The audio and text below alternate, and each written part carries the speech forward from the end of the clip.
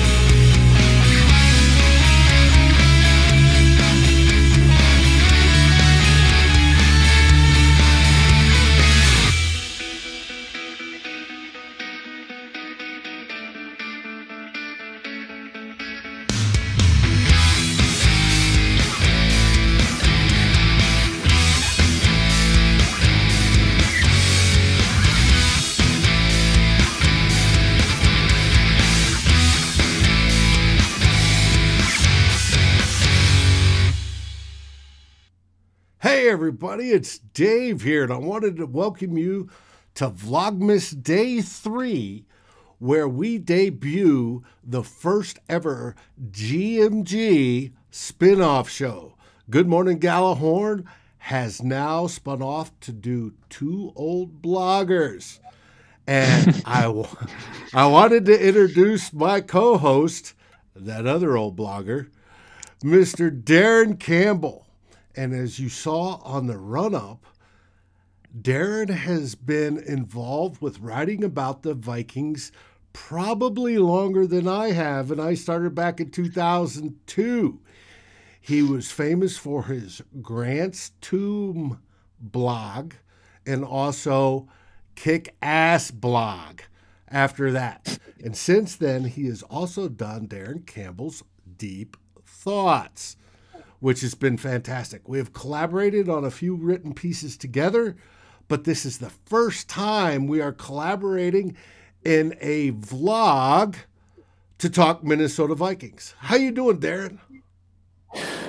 I'm doing awesome, Dave. I got a steal uh, uh, a saying from somebody we know very well, the the barbecue king, Reggie Adams. So, Skol, let's go, baby. Something it says something like that. I don't know. You said boom boom Skol. Yes. Rah, I, I forgot the boom boom. Terrible. Mm. And, and Reggie's fantastic, awesome cook.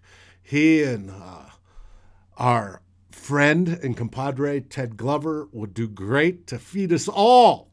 Anyways, how are things? First off, I want to introduce. We talk about fellow uh, climbing the pocket network. Jason Brown lives up in Canada, but you are a true Canadian and you live way up there in Yellowknife. How's the weather up there? I see pictures of beautiful green, uh, nice lake, occasional gorgeous um, northern lights. How are things up there right now? we haven't seen uh, green in about two and a half months. Uh, we've we've had uh, snow's been on the ground for like a month and a half, and um, it's still fall here, but but uh, it's uh, that's a relative term, I guess, because it's uh, it's it, it, fall here lasts about like a week, and then uh-huh. it goes it goes right from summer to one week of fall to winter, well, and then it's like winter for six months. Have they put the ice or houses, longer? Have they put the ice houses on the lake yet? No, that's uh, well, there there's houseboats that are on the lake, and they're on there year round. Uh, people live in them and do crazy shit like that, but no indoor plumbing and all that stuff. and uh, and then um, yeah, and then the the ice castle gets made. Well, they start making it as soon as the ice forms in the in the big lake, big Great mm-hmm. Slave Lake. They start doing that now, and then it goes until they keep on making ice blocks and stuff to make the castle, and that gets finished sometime in like late February or something. Uh, but it's been pretty mild here. The, the like mild by Yellowknife standards, been pretty mild lately, and uh, and uh, yeah, it's uh, I don't know how much ice there actually. Uh, the ice is isn't really that thick right now. I don't think, Ooh. which is rare for like even early unusual. December. Yeah, yeah. Yeah, so it's pretty far north up here. It's not nearly as far north. It's not. It's not like Barrow, Alaska, north, but uh, but it still gets quite cold. Oh, yes. And I know that wind comes down straight through North Dakota, hits Minnesota, all the way down the plains. And uh, that's normal. How do you, yeah. how did you become a Vikings fan? I've been a Vikings fan since uh, I'm 70, 1976. Okay. Not, not very scientific way I became a Vikings fan. I just, I picked the helmet that I liked the most it was it was down to the Chargers, the Eagles, and the Vikings, and I picked the Vikings. And Good like uh, some some some weekends, like two weekends ago when we lost to Dallas, I don't think that's a very good choice. and uh, but yeah, but that, that's how there, there's a bit longer story to that, but it's too boring. But uh, but yeah, it was all based on the helmet and the horns, baby. Sweet, sweet, sweet. And yeah. I know you started writing before I did, or right about the same time? And you've been writing. It was later. Was it? Yeah, it was later. It was like uh, I started 2007 with with okay. the blog, the first blog. So it was before you, and I kept writing blogs till I think I think I stopped writing 2016, maybe something like that. Okay. But uh, yeah, and we good. miss them. But now you're back, and now you're live on video. Um, yeah, not used to, used to seeing my face on the video, so it's kind of like uh, jarring. You'll get and maybe not very it. pleasant for anybody who's watching either. uh, but uh, this this could be this will probably be a lot quieter than if Drew and Ted were on with you. But uh, I think we'll have a discussion night. anyway. We're doing that oh. live tomorrow night, same time, same bat channel, and with the pregame show. But right you're going to be regular Thursdays through the month of December when Climb the Pocket Network blogs a live show, vlogs a live show, video, every day of the month. And people can look forward to seeing your lovely mug talking from the Great White North, Minnesota Vikings. I put the glasses on today to have, give you the intellectual look. Okay. Speaking of yeah. that, you had a question. Are we finally developing an offensive line? Yeah, I, I have uh, been just wondering, thinking about that a lot the past few weeks. We would, we certainly weren't. I don't think most Vikings fans were saying that when the team went one and five, but after we've gone back on this four to one, uh, gone on a four to one streak, I really feel that. Uh, the, of course, you feel that way when you're winning more, but uh, we're on. I think Cousins is is going is on track to be sacked slightly less than he was last year, and the running game has been, I think, overall more effective. Obviously, Dalvin Cook has a lot to do with that because he's so awesome, but. Um, I, you know, I think I liked what I think we've liked you and I liked what we've seen from Ezra Cleveland in the short time that he's been at guard, even though we both wanted him to play left tackle eventually. Yes. Uh, yeah, I think Bradbury has kind of certainly he had a rough rookie year, but I think he's looked better this year. And um, Brian O'Neill's always been solid from the get go, and Riley Reiff has been. I think he's been playing outstanding all year. Uh, and he was a guy that a lot of us said, "Oh, he's an average tackle." Uh, you know, he's and that's Including the best me. he is. Yeah. yeah. well, well, yeah, on this, yeah, I'm right up there. As when he'd give up some sacks last year, and when Khalil Mack did the old punch and mm-hmm. knocked him on his butt like two years ago, you're like, oh man, how can? Come on, Reiff, like get it together. But he's really gotten it together this year. I'm sure. I don't get to see the PFF grades, and people poo-poo PFF a lot of times, but I'm pretty sure he must be our highest rated lineman according to them this year. It's close. Uh, or yeah. It, it, it's up there if he's not. I want to say hey to Viking Jerome. He's joined us tonight. He is a stalwart watching these shows, and I appreciate it. You talk about Reiff. I think Reiff's motivation this year was the fact that he had to take a pay cut, and he may not be here next year. Now, his contract is through next year, but it gets yeah. expensive. So uh, I appreciate that he's now motivated and literally he is playing the best of his career.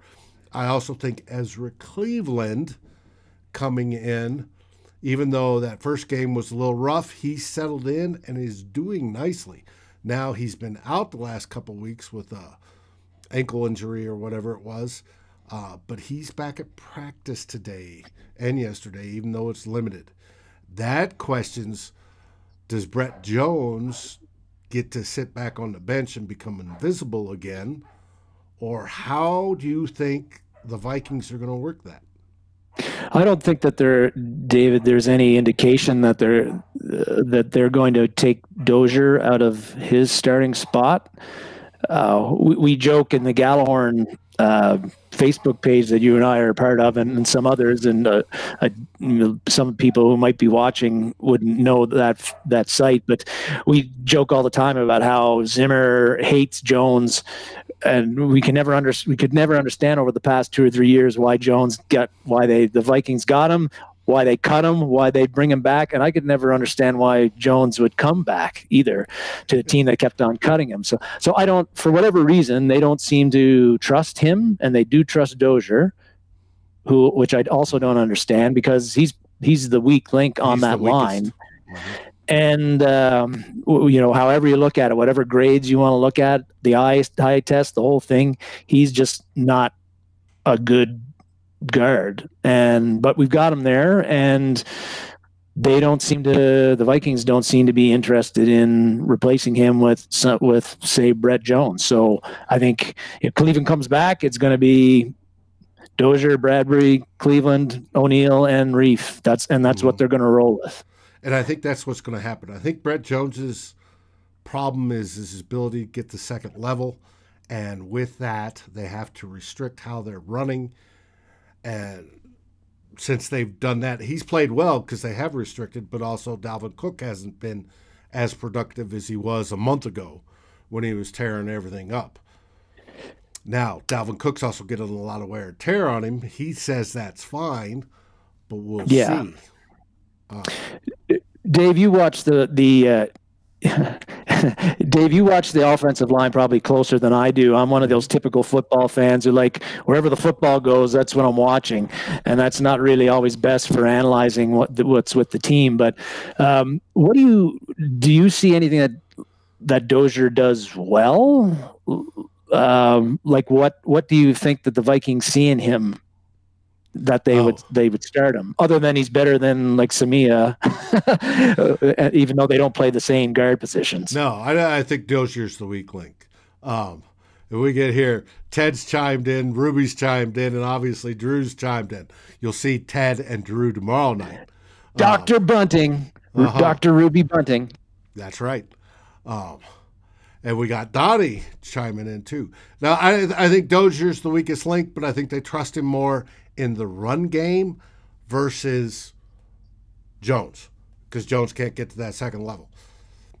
we're going to take our licks. It means he gets run over in pass defense. Uh, it is what it is until Cleveland's back 100%. I think Cleveland's doing well at guard. I wanted him at left tackle, but he's doing well at guard. And if we keep him there the rest of the year, that's fine. He's still getting reps, and he needs to get reps. But speaking of rookies, to, yeah, yep. Speaking of rookies, I was going to say it was good to good to see that uh, we've been again many of us in the in the group that we're in have been moaning since 2016 about why can't the Vikings fix their offensive line? Why don't they devote resources to it?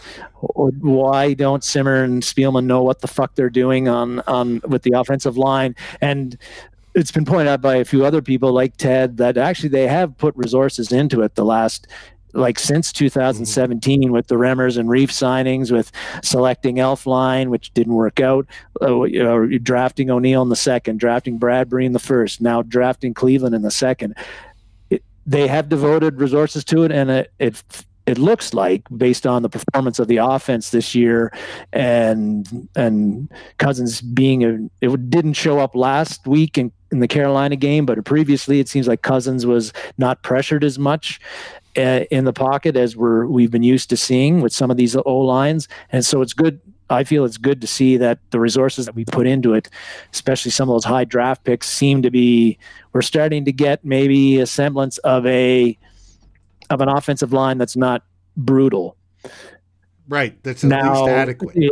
Yeah.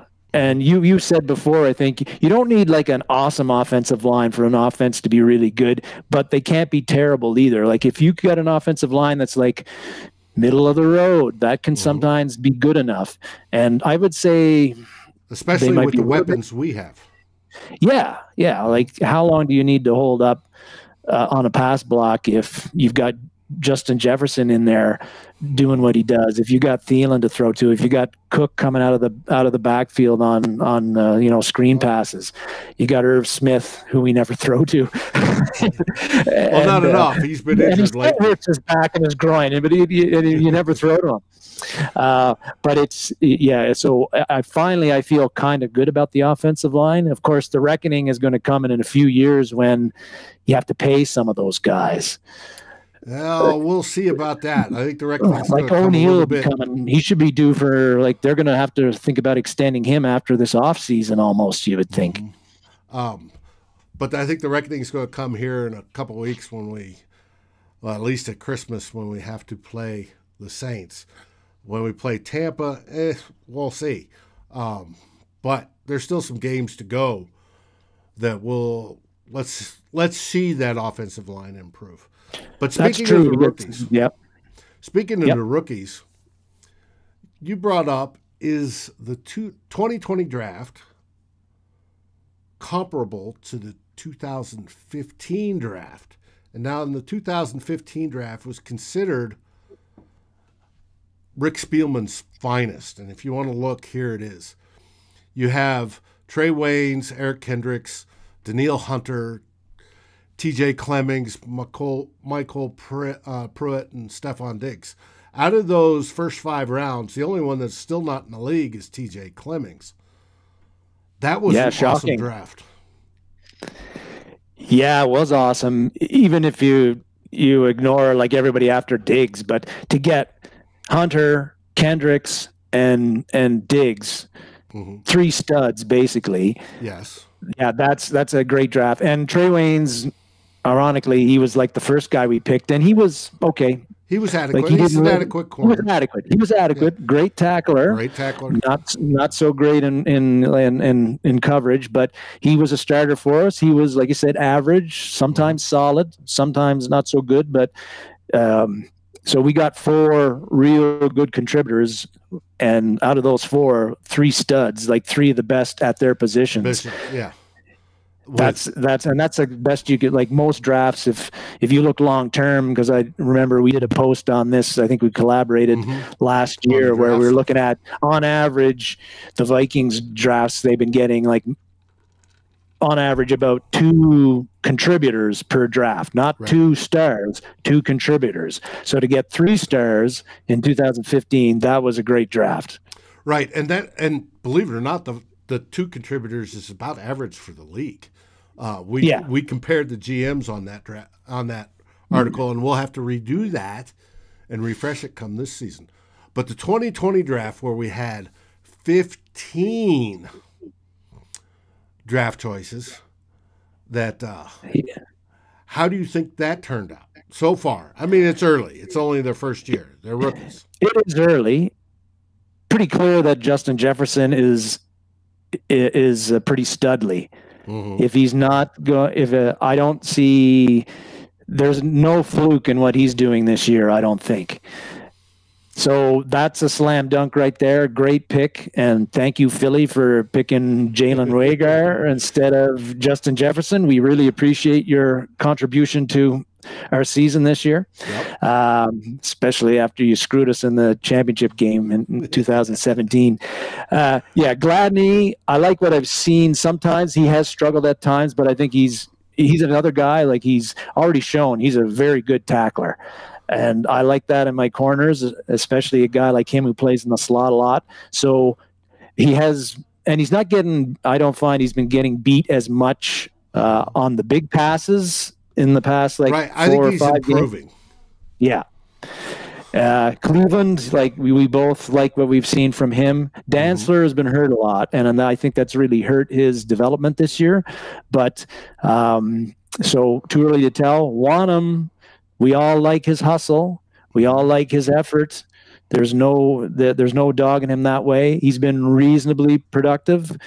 Um, I More, I think more productive as a rookie than Danielle Hunter was. Because Danielle Hunter's first year didn't start till later in the season, and then no it was no. slow. It was a slow start. but yeah, but again, it's again like when Hunter came in there, who did he have? Like there was Robison and Griffin were there, and we Right. had Tom Tom Johnson and uh, who played on the inside a lot, but. Hunter, there wasn't a, a starting spot for Hunter, and he did end up with six sacks as his Mhm. rookie year, and, and came on at the end of the year. Wonnum's got three sacks, and uh, sacks aren't everything for sure, Right. but uh, but uh, but I think we'll see. But I I, We'll see. I think Wanham is promising. Lynch hasn't played much, hasn't done much when he's been in there. Dye, I think he needs to like put on about 15 pounds. He missed like tw- uh, like a god awful amount of tackles against Carolina, but uh, and everybody else there seems like it's uh, pretty much a wash. But Right. if if you got Jefferson a stud, and then you you can get um, two or three of the like if Cleveland ends up being good Mhm. as he looks like, Gladney or Dantzler or both pan Right. out, That's and Wonnum keeps on doing what he's doing. Now maybe they're not all going to be studs, but if they're solid, you get a couple of studs and a couple of two or three solid contributors. That's a, a great draft too. it is. It is. It absolutely is. Um, Even if you had thirty picks. hmm Yeah. Hopefully, the well, we got a lot going into the 2021 draft too. Question Yeah. there will be: Do we pick a quarterback? And uh, we'll see. Are you you saying quarterback like QB? Quarter, yes, as in Hmm. final replacement for the one and only Kirk Cousins. But You know, uh, I Kirk, feel like uh, Kirk Cousins. I'm so conflicted. I'm so conflicted by Cousins. Cousins. I've talked about this before, and I've complained about him a lot this year too. Anyway, that wasn't really one of our topics, but no, he, he can he can look he can If look he- so good sometimes, and then like and then like you said, when you really need him to look good, he doesn't look very good. yeah, he gets the incomplete and the F. There you go, Drew. Um, uh, but I I suspect Cousins is going to play out his contract with us at least, and we'll see what goes on from there. I would like to have a young guy ready to take his spot if necessary, but we'll see. Um, Jags, the Jags play. I just I just saw Drew comment about Tajaé Sharpe. Yes. Hit all two targets this season. Um, and that pass this last weekend to him was Yeah. beautiful. He should have caught it, hit his hands. That's Well, when, that's when you never get to play, when you never Yeah. get to play, and nobody ever throws at you, like how are you well, supposed to be ready for that stuff? for. That's what practice is for. You got a receiver's taught if it touches his hands, he should catch it. Period. Um, yeah, if the line just doesn't suck. Yes, you're correct. Yeah. Um, looking forward, we play the Jags this week. Jags are one and what is it? Ten. 10. Yeah. Oof. And they're playing for literally. I was listening to a podcast today, and they're talking about rooting for the Jets so they get the number one pick, and they do not want to win. Uh, they just fired their GM. They the fans want them to fire their head coach and their defensive coordinator, and the only one they want to keep basically is their wide receivers coach. Don't fire them now. You've lost 10 in a row. Right. if, if, if you're if you, if you want to get like the number one pick, you got to keep losing, right? You so keep keep Marrone in there and everything else. Yeah. Um, it is. Uh, what would you like to talk about that this particular game on? It's one of those that scares me. We, sh- on paper, we should win, but that's the ones that scare me, and it's at home, and it's like the Dallas game. Yeah. Um, the saying I've had this year and uh, as, for the Vikings has been they might not be able to beat everybody in the league, but they can lose to anybody in the league. And and so sure, like Jacksonville numbers wise, if you look at it, I think Jacksonville only Dallas has given up more points than they have. Uh, I think only Chicago is given is scoring less than they have. Uh, they, they're terrible all across the board, and uh, so and not that that we're all that shit hot either in a lot of areas, but yeah, this should be a game that we should win and not have to sweat it out too much. But we will sweat it out. It'll probably be close because our defense just isn't that good, and it doesn't seem to matter other than the Bears who we play. The other team's offense moves on us, and um, so that's what I'm, I'm expecting a close game. And your heart is going to be racing in the fourth quarter, like yeah, which will drive me in so many others. crazy. And Yeah, well, you should be used to it. You should be used to it by I now. should be, it's just. Oh, no. Ah, no. I did. I, I did see that Glennon, Mike Glennon, is going to start. They decided is- to start him over over Jorts Minshew. yeah, Minshew. And the last right. time, you remember the last time we saw him? No, we probably lost. It, it was a long time ago. We didn't lose. No. No, it was that. It was 2014. He was playing for Tampa, and that was the game Anthony Barr did the strip Strip sack. fumble in overtime. Yes. Yeah. I remember. Yes, yes, yes. That was sweet. Oh, I'd It love was. to see another one of those. Obviously, Anthony Barr can't, but hey, get Wilson or Kendricks, or I'll take anybody on the defense to do that. Yep. Yeah, the uh, I think the the um, it's been for this game, uh, and I the only Jacksonville amount of Jacksonville game that I watched was that Thursday nighter they played, and and Jorts Minshew was was still quarterback, and so that was quite a while ago. But they got that James Robinson, who's kind of a nice runner, Mm-hmm. uh, undrafted nice. rookie. Mhm. He's been doing well, and um, and yeah, that's Short about it. well, no, they've got a few more than that. Um, yeah, they got but DJ uh, Clark, which I think is uh, um, I'd have to look at the. Let me bring up the injury report real quick. DJ Clark. Oh, this is the Vikings one. Um, Yeah. I didn't bring. I didn't capture the Jaguar one because it's about yay long. Um, but I think Clark was on it. You have uh, their whole defensive secondary is rookies, and some of those rookies have gotten hurt, and they're having more rookies back them up. Um, Yeah, I know C.J. Henderson won't be playing. He's on the IR, um, so he's one of the one of those rookies. Josh and they don't Allen at edge and Myles Jack at linebacker are probably the only two on the defense that I would fear. And Allen's out though. is he Allen's on. Yeah, he's not playing, sweet? and he was the. And and they yeah the Jacksonville much like us they have no pass rush I think they have like twelve sacks and Allen had five of those Yeah, he was the best of the bunch. yeah So, so they're not good. They shouldn't be able to get any pressure on us, which uh, means that it should be a good day to throw the ball for Cousins again. It should be. That's exactly what I thought it, from the Carolina game, though, and they actually got pretty good pressure on us and shut Cook down almost completely. It was a strange yeah. one.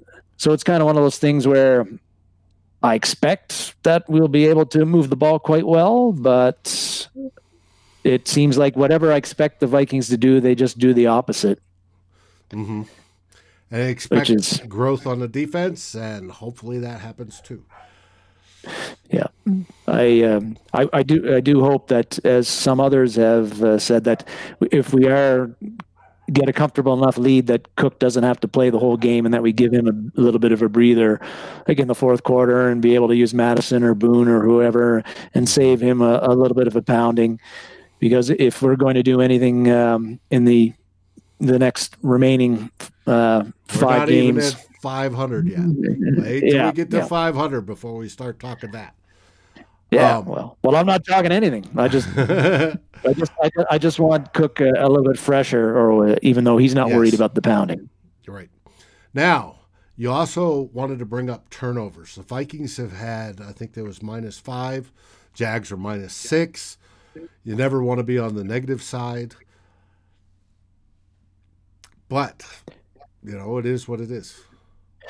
Well, it, another, yeah, I wanted to talk about that, but are you seeing are you seeing anything, Dave, that the Vikings are doing on offense that's leading to the amount of turnovers that they've been having? Like we're we're minus five or six, like you said, uh, which seems that's not good, but that seems even a little low because it's because every game they've other than maybe the Packers game, they seem to have two to three turnovers per game. Sometimes it's not always, uh, and I consider the two block punts like uh, like if, if you get your pot punt you get your punt blocked, is that a turnover for for the offense? You had the ball.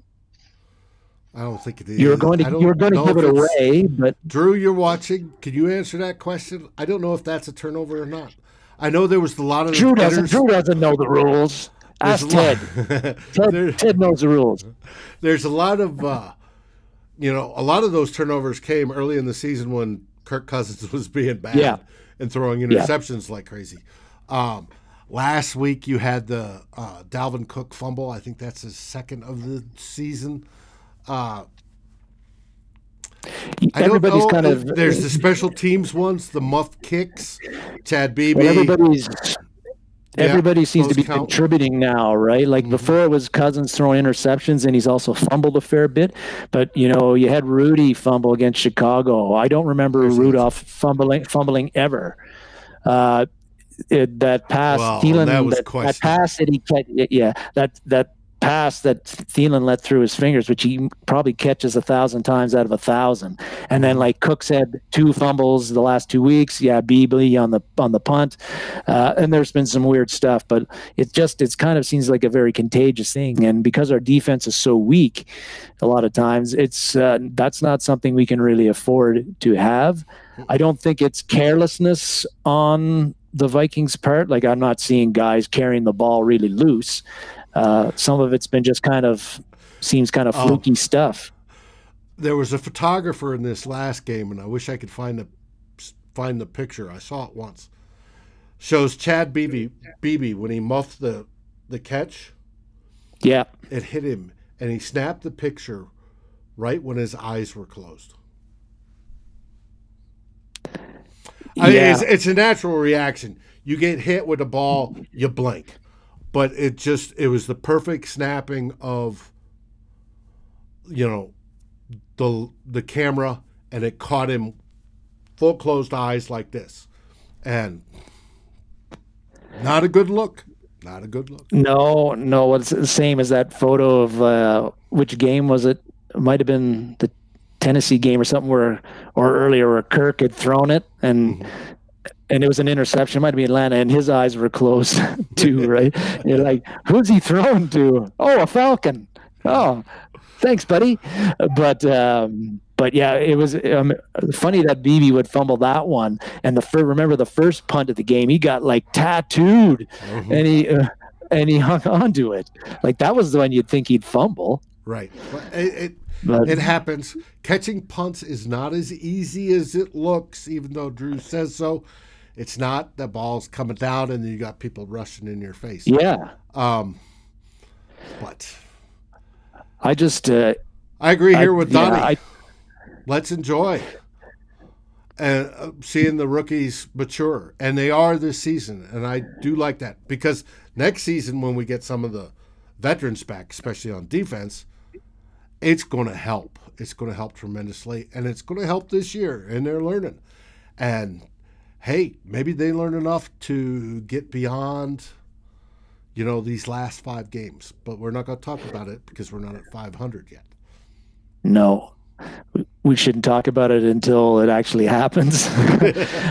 but I, I agree with Donnie, and that's the same thing that that Tony the Machine Bell was talking about a couple of weeks ago too. About forget about the playoffs. Vikings aren't making the playoffs, but so settle down. Enjoy the the young guys that are in there playing the first and second year guys. Enjoy their development. Enjoy seeing Jeffer, Justin Jefferson torch veteran corners oh, and make them and hopefully and gritty. Yeah, and Justin Jefferson may beat may beat uh, Randy Moss's records, and that would be something. What a lucky, what a lucky draft choice. So thank you, Philadelphia, for choosing Reagor. That's right. Mm-hmm. They, yeah. So that that's definitely something that uh, if the games aren't going well, that's what I'm keying on too. Is what's Wonnum doing? What's how's Gladney doing? Has Dantzler made a play yet? How's JJ mm-hmm. looking? How's Cleveland looking? Those guys that are young and are the future. Yep. Uh, are, are they are they good future for us, or are they just kind of middle of the road future? Right. And and most of those guys are improving, and that's what we want to see. And they yeah, we, and they wouldn't have.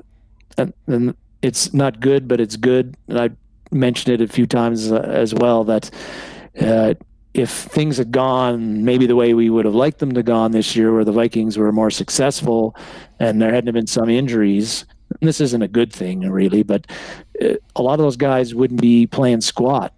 And we and we wouldn't know what we had in them, and the Vikings wouldn't really know what they had in them. But it, because they've been forced into playing, we are getting. I think definitely the coaches however long they last, uh, have, I think have got a lot a good enough amount of tape that they have some idea of where they are with this young group of players and where and it, it's going to help with all draft selection next year or in the in the spring because you'll know I think you'll have an even better idea of where your what your needs are. You don't really have to guess that you need another defensive end. Well, we do. We do need a d- defensive end, somebody who can rush the passer. yeah, we need but, some help there. Well, we'll see. With that, mm-hmm. have you got any last words for tonight? Because we're going to wrap up this show. Oh, thank God. I couldn't talk anymore. Uh, uh, that might seem hard to believe. Um, yeah, I guess last thoughts is this Jaguars game is not going to be probably one that many people are going to watch other than the fans of the Jaguars and the Vikings. But it'll. I, am like you. I, I, don't. I don't know if worried is the right feeling because I worry every Vikings game. And how about apprehensive? Yeah, definitely, because they have the Vikings haven't been very good at home this year. Mm-hmm. They seem to play worse at home than they have on the road, which is a real switch in 2020.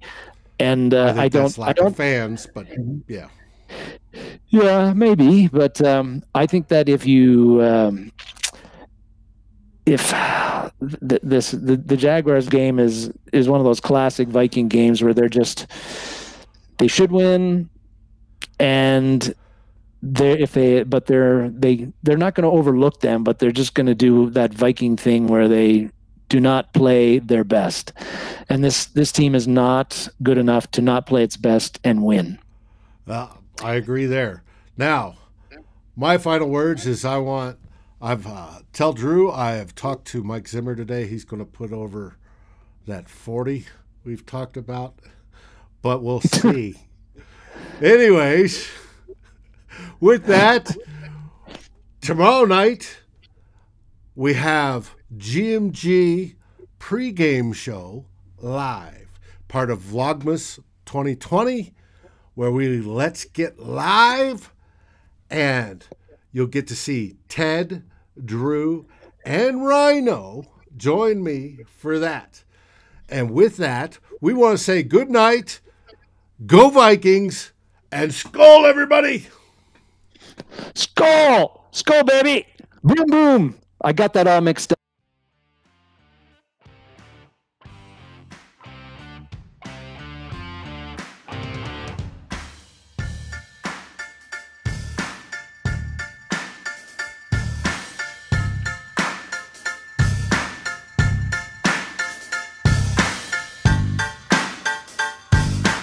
Thank you for watching or listening.